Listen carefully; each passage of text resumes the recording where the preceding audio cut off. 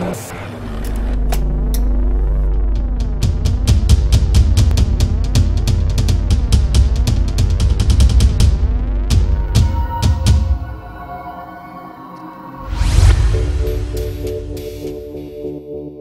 now, you may have already learned about some of the amazing features that make Axient truly remarkable.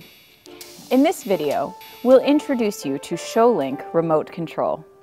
ShowLink is a new Shure technology that enables real-time control of transmitters, giving the user the ability to perform instantaneous remote adjustments of all transmitter settings. Whether on stage in the middle of a performance, or off stage in between performances, engineers will have the option to manipulate settings on the transmitter remotely. The ShowLink access point maintains a wireless network connection with my transmitter that allows Nick to monitor and control it throughout the theater. I'm here in the control booth and I have ShowLink coverage that's about the same as the range of the wireless audio. We've extended that by placing another ShowLink access point backstage so we can manage transmitters when they're in dressing rooms. ShowLink is a powerful tool that allows engineers to monitor and make adjustments to transmitters on the fly remotely. For example, Jen is off stage right now, and using ShowLink I can see the remaining battery life even though the audio transmission is currently out of range.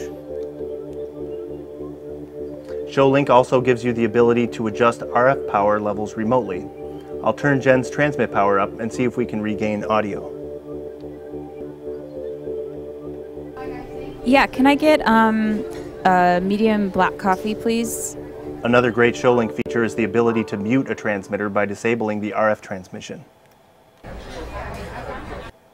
All right, let's bring her back. As powerful as it is, ShowLink is actually pretty easy to set up. The access point is connected to a receiver with an Ethernet cable and is powered over the Ethernet connection. Link the transmitter using the infrared feature on the receiver, check to make sure the signal quality of ShowLink is solid, and you're ready to go. I'm actually using Wireless Workbench 6 in conjunction with ShowLink here to assign a name to Jen's transmitter. There you go, she's now named Jen. We have a video dedicated to Wireless Workbench 6. It's a great software interface that allows you to see and program the Axient system.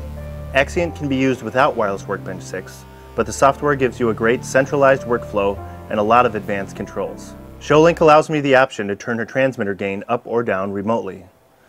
Jen, give me a check. Check one, two, check one, two, hey, hey. Just like that, I can fix a potential problem without having to track her down. Overall, the flexibility ShowLink provides in a live setting is like no other system. It lets you remotely manage everything about your transmitters.